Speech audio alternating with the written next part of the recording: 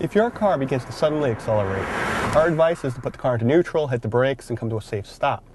But what if you don't do that? Shouldn't a car's brakes be powerful enough to stop the car even at wide open throttle?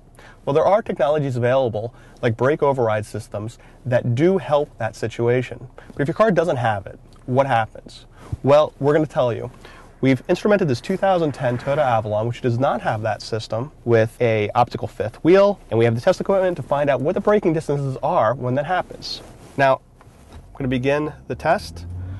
My foot is fully on the gas pedal right now. The car is accelerating wide open throttle. Without lifting off the gas, I'm putting my foot on the brake and holding it down as hard as I can, trying to stop the vehicle. I'm pushing very hard here. I'm almost stopped but I'm still inching along. I'm pushing with all my might, and I'm finally stopped. The car stopped at 513 feet. Now, this car normally stops at 140 from 60 miles per hour. 513 feet is a very long time to keep your foot all the way on the brake, and I pushed with all my might. Someone else might not be able to. But that's not the whole story. As you saw, it took a very long time to stop and took a lot of effort. Now, in the real world, would someone actually leave their foot down on the brake? Well, let's see what happens if you lift your foot off the brake in this situation. Again, wide open throttle, 60 miles per hour, hitting the brakes, car slowing down. I'm going to lift off my brakes just once and then back down. I've lost power assist. I cannot slow this vehicle down. I'm pushing all my might. I'm going 40. Say I lift off my brake again and pump them. Now I'm going 60, cannot slow down the vehicle. Lift off again, 80 miles an hour. I'm powerless to slow this vehicle down. I'm gonna put the car into neutral. Now I can stop the vehicle. Now what does this mean? In the real world, people will actually lift the foot off the brake, perhaps to pump the brakes to get more power, perhaps they're trying to fiddle with a floor mat but the point is, is when you lift your foot off the brake, even one time, you lose your power assistance and it becomes almost impossible to stop the vehicle.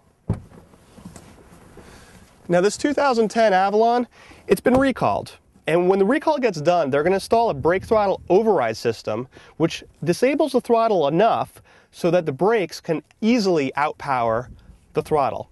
Now, the 2010 Camry test car we have here, this car has undergone that same recall. And you're going to see what happens when we do that same test in this car. So just like we tried in the Avalon, my foot is fully to the floor. I'm accelerating hard, 60 miles per hour, and I'll press on the brake. The car stops. The engine just goes to an idle.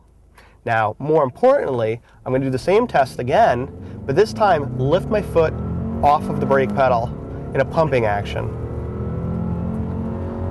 Foot's on the brake, I lift off. Back down, I still have power brakes. This is really, really important. And this same thing that I tried with the Avalon, it rendered the Avalon impossible to stop unless I were to put the car into neutral. Here, I retain the power brakes, and the car comes to a safe stop quickly. Now, as you can see, this is an important safety advance. And Toyota, they'll be putting into all their cars going forward. But some enthusiasts are a bit worried because after all, it's taking power away from the driver. And there are situations where you might want to press the gas and the throttle at the same time. But what we found, it actually doesn't get in the way. Take a look what happens when we drive this GTI, which does have the same technology. So the reason why it's not going to get in the way necessarily for enthusiasts is because it doesn't completely disable the throttle. So as I'm going into this corner in this GTI, I'm going to do what's called heel toe downshift. What that means is I'm going to blip the throttle. I'm braking, downshift, blip the throttle, have a smooth downshift. This is something you might do if you're on an autocross or a racetrack. But the reason I'm able to do this is because even though I'm on the brake, I can give it throttle and smooth things out. Another thing I could do is trail braking. Go around this corner, I'm on the brake just a little bit, helps rotate the car. I'm still giving it throttle. I still have the throttle application. But if I actually needed to stop, both feet down, the car stops easily and I'm safe. And there are some other legitimate and not so legitimate reasons why you might want to put your feet on the brake and the gas at the same time. For instance, say you're on a very steep hill. You might want to give it some gas before you let off the brake so you don't roll backwards. That could be useful in an off road situation or in a boat ramp. And in fact, we were even able to do a brake stand on our Mercedes Benz E350 where we put our foot on the brake and gave it lots of gas to spin the rear wheels. There's really no reason to do it, but the point is, is that the brake override technology, it doesn't get into the way of the driver controls. So we think it's great that Toyota's putting brake override in all the new Toyotas.